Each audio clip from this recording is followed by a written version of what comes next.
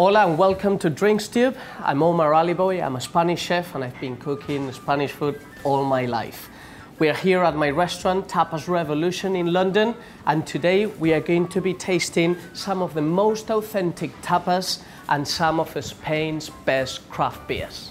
There is a few legends about the origin of tapas, but one of them originated centuries ago in Andalusia in the south of Spain. They used to use a slice of bread with some charcuterie and put it on top of your glass of your drink to stop flies or mosquitoes and the sand of the beach to go into the actual drink. Sometimes with tapas, you have a lot of different flavors going on in the table, and wine not may match them all. Beer, in the other hand, washes it all down between mouthfuls and links it all together. So for my first match, I'm going to be pairing ham with a salty beer. This beer is very special. It's made with Mediterranean seawater. Uh, comes from the region of Valencia, known for uh, the waters to have a great level of purity. This is not yet another ham. It's jamón ibérico, the most expensive in the world. And it's done by salting the leg of a very special breed of pigs called Iberico and then dry curing them in cellars for three years.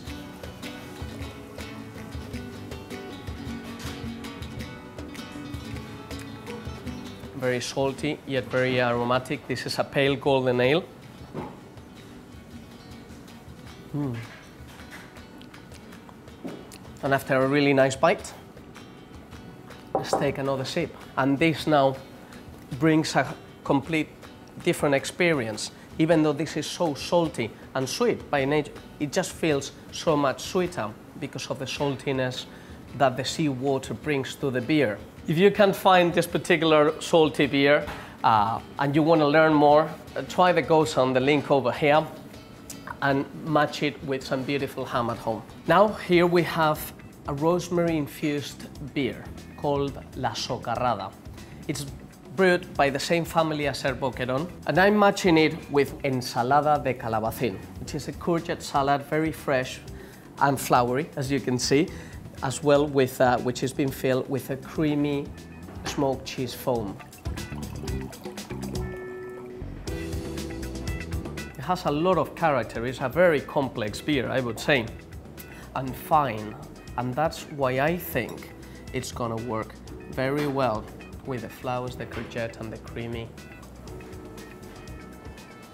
The rosemary, the truffle, the lemon dressing, it just creates a very uh, balanced um, structure to, to, to what I'm having to this experience. You cannot find this beer.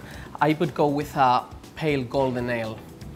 And uh, try a nice salad with beetroot, green beans, courgettes, which are very floral in their own right. I have here a Estrella de Galicia Reserva 1906. So it's a very old-fashioned beer, full medium-bodied, and it will go very, very well with any of the most traditional and authentic robust tapas. Tortilla or Spanish omelette, what I have over here, it's a mix of egg, caramelized onion, fried potatoes, all cooked in a pan with extra virgin olive oil.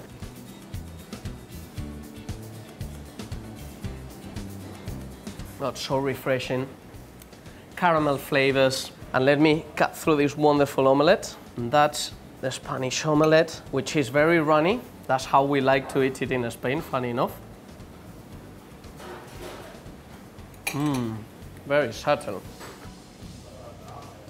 those caramel tastes with the sweetness of the caramelized onion that it has on it, the extra virgin olive oil that everything is being fried on as well. You will find tortilla in every tapas bar in the world and uh, enjoy it with a great lager. It makes the perfect match. And last but not least, I have a BIPA craft beer, which is a Valencia's take on an English IPA.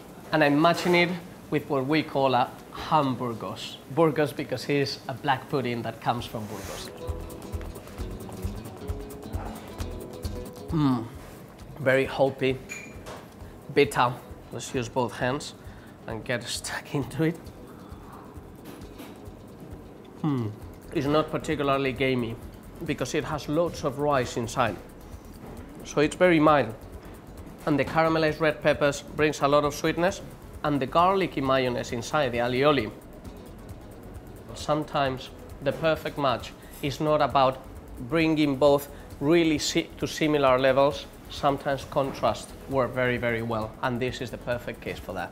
If you want to try this at home, I would recommend you to try any black pudding or any gamey dish will work really well with this Hopi IPA. So there you have four amazing Spanish craft beers. If you want the best out of your tapas, you have to try this. Check out Tim Anderson matching beers with street food.